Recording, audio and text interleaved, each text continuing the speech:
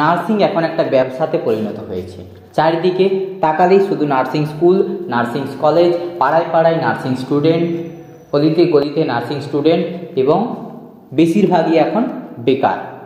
Job পাচ্ছে না, কেউ পাঁচ হাজারে চাকরি করছে, কেউ দশ হাজারে করছে, কেউ পনেরো হাজারে করছে, কেউ তিন চার বছর বসে আছে বাড়িতে নার্সিং করে করে তো ওয়েস্ট বেঙ্গলে এই যে নার্সিং কলেজ বা স্কুল খোলার যে একটা ধুম পড়ে গেছে যে যে পারছে নার্সিং স্কুল কলেজ খুলে দিচ্ছে, একটা বিএড কলেজে নার্সিং স্কুল খুলে দিচ্ছে, একটা যেখানে একটা ক্লাব ছিল, সেখানে একটা নার্সিং স্কুল খুলে দিচ্ছে এবং বেশিরভাগই কি করছে, একটা একটা ঘর ভাড়া নিয়ে নার্সিং স্কুলটা খুলে দিচ্ছে এবং তার নিজস্ব কোনো হসপিটাল থাকছে না না থাকছে কোনো ক্লিনিক্যাল ফিল্ড কিচ্ছু থাকছে না এবং সবাই টাকা দিয়ে গভর্নমেন্ট হসপিটালগুলোতে ট্রেনিংয়ের ব্যবস্থা করে দিচ্ছে। সেই সমস্ত স্টুডেন্টদের কোথাও দিচ্ছে ছ মাসের জন্য, কোথাও দিচ্ছে এক বছরের জন্য, কোথাও আবার তিন চার মাসের জন্য ট্রেনিং দিচ্ছে।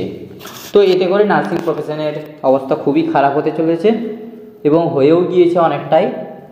তো সেটারই এগেনস্টে একটা নোটিশ দিয়েছে আমাদের ওয়েস্ট বেঙ্গল গভর্নমেন্ট সেখানে কি বলেছে নার্সিং ব্রাঞ্চ থেকে কি বলেছে, দেখো, যে of it has been observe that a number of non government nursing institution nursing school and nursing college approaching this directorate seeking different government health facilities has they are affiliated hospital for arrangement of clinical training practice for their nursing students তো এটা দেখা যাচ্ছে যে বেশিরভাগ private institution তাদের ট্রেনিংয়ের জন্য বা প্র্যাকটিসের জন্য স্টুডেন্টদের গভর্নমেন্ট ইনস্টিটিউট বা গভর্নমেন্ট হসপিটালগুলোতে অ্যাপ্লাই করছে। কিন্তু সেক্ষেত্রে পরে দেখো আরও কি বলেছে?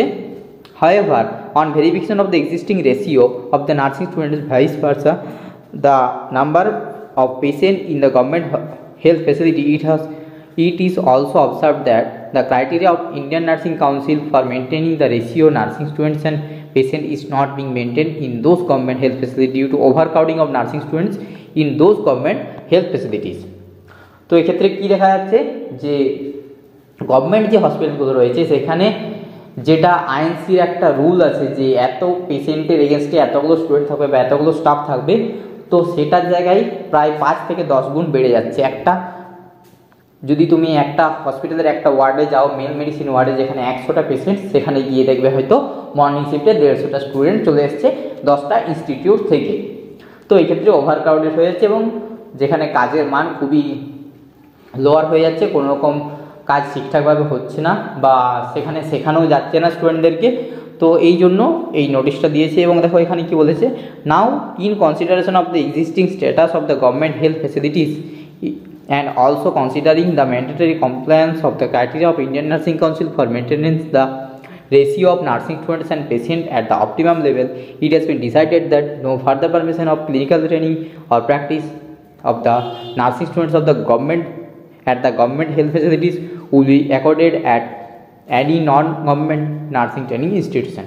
অর্থাৎ কোনো রকম নন গভর্নমেন্ট ইনস্টিটিউশনকে আর গভর্নমেন্ট হেলথ ফেসিলিটি গভর্নমেন্ট হসপিটালে কোনো রকম ট্রেনিংয়ের জন্য অ্যালাউ করা হবে না কারণ আইএনসির যে রুল আছে, সেই রুলটা মেনটেন করা যাচ্ছে না এবং হসপিটাল ওভার ক্রাউডেড হয়ে যাচ্ছে নার্সিং স্টুডেন্টে তাই এখন থেকে, এর পরবর্তী সময় থেকে কোনো রকম নতুন নার্সিং স্কুল বা নার্সিং কলেজ যদি অ্যাপ্রুভাল নিতে চায় গভর্নমেন্ট হেলথ ফেসিলিটিতে সেখানে তাদেরকে কোনো রকম অ্যাপ্রুভাল দেওয়া হবে না।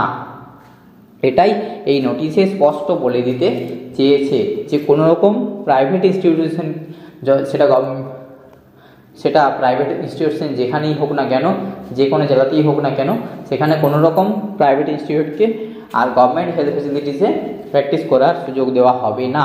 এটা একদম অর্ডার দিয়ে দিয়েছে। This order will take immediate effect and all are hereby informed accordingly এক্ষেত্রে বলে দিয়েছে যে একদম এই অর্ডারটা একদম আজ থেকেই ফলো হবে। এই নোটিশটা দিয়েছে বাইশ তিন দু হাজার তেইশে। তাহলে বুঝতেই পারছ যে প্রাইভেট ইনস্টিটিউশন যদি তোমরা কেউ ভর্তি হতে যাও, তার আগে তোমাদের দেখে নিতে হবে যে সেই প্রাইভেট ইনস্টিটিউশনের কোন, কোনো রকম নিজেদের হসপিটাল রয়েছে কি না। যেমন কিছু কিছু হসপিটাল কিছু কিছু কলেজ বা স্কুল রয়েছে যাদের নিজস্ব বড় বড় হসপিটাল রয়েছে, যেমন বড় বড় হসপিটাল চারনক পিয়ারডেস বা আরও যেসব ইনস্টিটিউশনগুলো আছে কলকাতায় বড় বড় ইনস্টিটিউশন তো তাদের নিজস্ব বড় বড় হসপিটাল রয়েছে।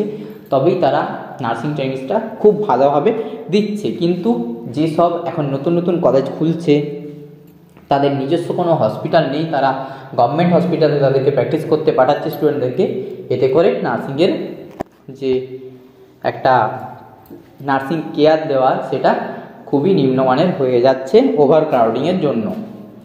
তো ভিডিওটা ছিল এই পর্যন্তই। তো যারা নতুনভাবে নার্সিং প্রাইভেট ইনস্টিটিউশনে ভর্তি হওয়ার কথা ভাবছ, আগে দেখে নেবে তাদের নিজস্ব কোনো হসপিটাল আছে কি না প্র্যাকটিস করার জন্য, কারণ নতুন করে আর কোনো গভর্নমেন্ট হসপিটালে প্র্যাকটিস করার সুযোগ দেওয়া হবে না নার্সিং স্টুডেন্টদেরকে তো ভিডিওটা ছিল এই পর্যন্তই। ভিডিওটা বন্ধুদের মধ্যে শেয়ার করে দাও, যাতে যারা ভর্তি হবে নার্সিংয়ে, তারা যেন সতর্ক হয়ে যায়। আর ভিডিওটা ভালো লাগে থাকলে লাইক করো কমেন্ট করে জানাও, বন্ধুদের মধ্যে শেয়ার করে দাও। আর আমাদের চ্যানেল করে এবার নার্সিংকে সাবস্ক্রাইব করে রাখো। এরকমই নার্সিং রিলেটেড আপডেট সবার আগে পাওয়ার জন্য। তো ভিডিওটা সম্পূর্ণ দেখার জন্য সকলকে অসংখ্য ধন্যবাদ।